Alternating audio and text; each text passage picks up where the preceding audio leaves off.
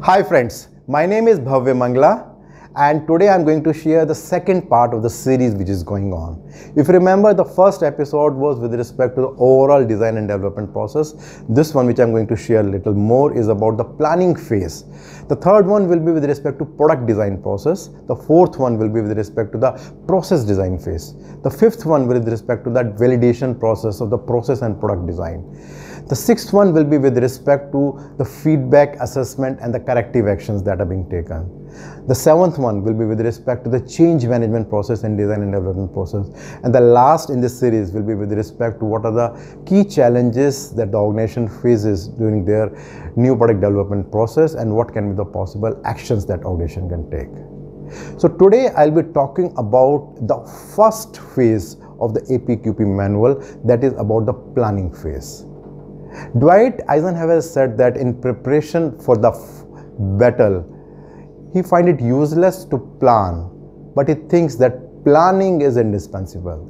Something similar is important in new product development process, where unless and until organization is planning effectively and correctly, they cannot sure that whatever the next phases are there, they will be serving the purpose what is being intended by the customer as well as by the organization. So planning phase is the most important and the critical phase. If you look into APQP manual, which is second edition, July 2008, as well as IATF 16949 clause 8.3, there are many specific things which are given with respect to the planning process. But before going ahead with the planning process, it's very important to prepare for that phase.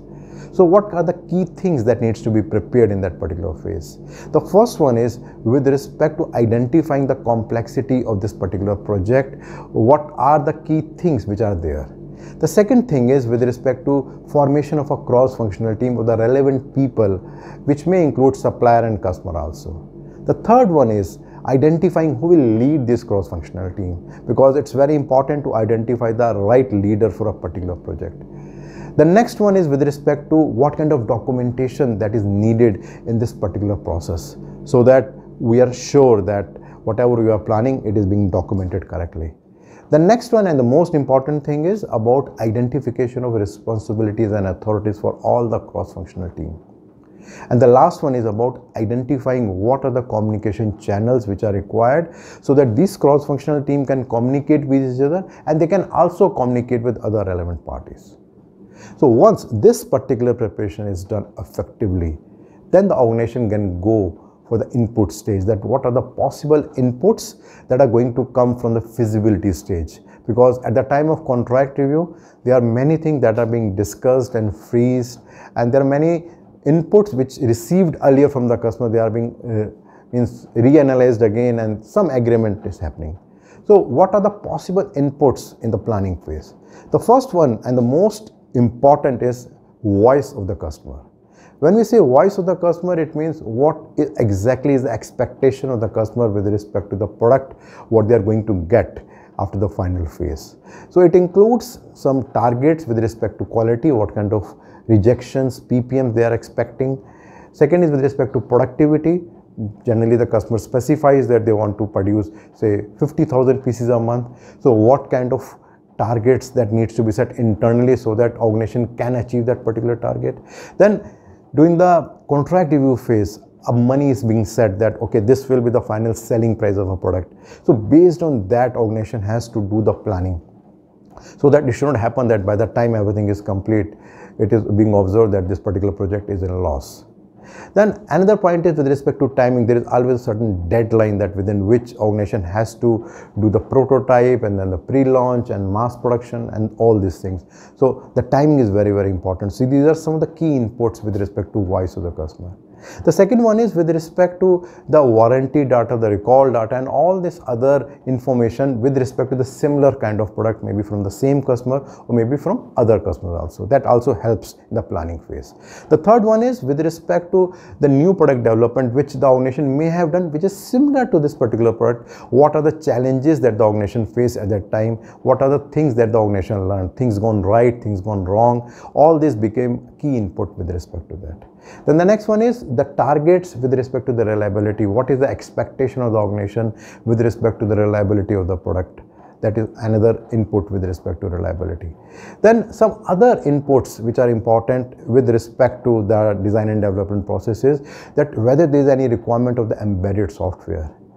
Now if you see all the vehicles present times, maybe 50% of the vehicles are running through some electronic components here and there and generally uh, we generally use the word ECU electronic control unit sometimes it is also called as engine control units so there may be different kind of software that may be embedded so that uh, we want to have certain functions that should function accordingly.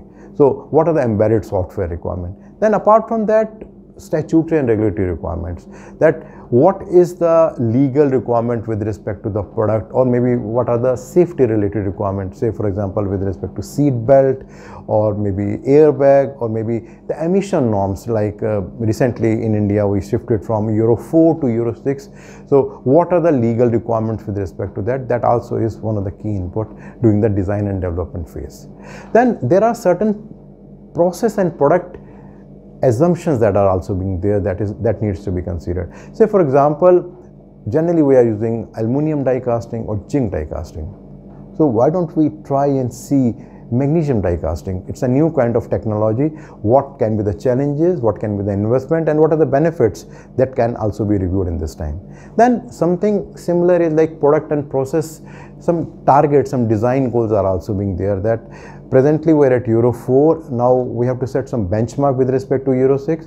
So maybe in India, we are very new to Euro 6, but maybe we can see some other countries, what are the challenges that they have faced, uh, what are the benefits that they are getting with respect to that. And based on that benchmark data, we can plan our transition from Euro 4 to Euro 6.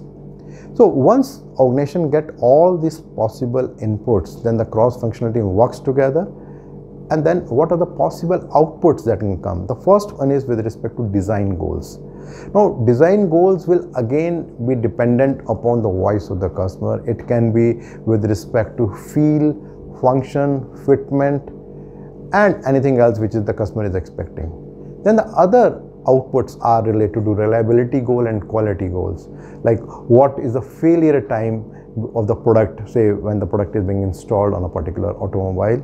It can be related to some targets related to rejections. It can be some target with respect to that what kind of warranty will come and if the warranty will come whether it is say with respect to 50,000 kilometers or maybe three years. So all those things becomes some quality goals, other reliability goals. Then during this stage, a preliminary bill of material can also be prepared that give a fair idea that what are the different components that will be part of the particular assembly.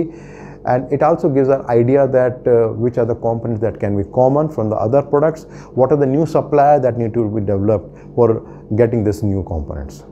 Then the next thing can be with respect to the preliminary process flowchart. Have a fair idea that how the process is going to move from incoming inspection to the final dispatch to the customers. That gives an idea that what kind of preparation organization has to do based on that process flowchart. Then some other key uh, outputs with respect to this process is identification of special characteristics. Whatever inputs that the organization has received from the customers, what can be the possible special characteristics with respect to the product and related to the process which may be relevant to ensure that the product and process characteristics are being taken care of. Once all this information is there, then there can be a product assurance plan that can be prepared, which will be an input for the next stage, the second phase, wherein the FMEA and other related activities are being done. One of the very key and the last output with respect to the planning phase is the management support. That how much top management is involved in this process, what kind of information is going to them and what kind of output or direction is coming from them. So if an organization systematically identifies all the inputs and whatever are the desired output for a particular product that are being done, then there is a high possibility that we can ensure customer satisfaction. We can also assure that whatever timeline that is being set that is being achieved and as well as the employee motivation, the people who are working on that project, they will always feel excited and charged up with respect to that. So if I give a summary, I initially talked about what are the preparations needed before going ahead with the first phase And those preparation include identification of the complexity of the project, making cross-functional team, identifying who is the leader of the cross-functional team, documentation requirement, communication channels, what are the responsibility and authority that is being needed. And based on that, some possible design inputs which are there for the first phase that are related to voice of the customer, reliability goals, learning from the previous experience, warranty data, some information related to statutory regulatory requirement, information with respect to embedded softwares and many other things and the output can be in the form of design goals, reliability goals, quality goals, preliminary bill of material and process flow chart, identification of special characteristics, making a, a product assurance plan and getting the support from the management. So this is part 2 of this series of 8. The next video will be with respect to the product design process. So in case you think that you are liking this video and you want to regularly get this kind of videos, so you can subscribe to my YouTube channel. And in case you want to get more detailed information about this video, you can click the below link and you'll get more information about that. Thank you.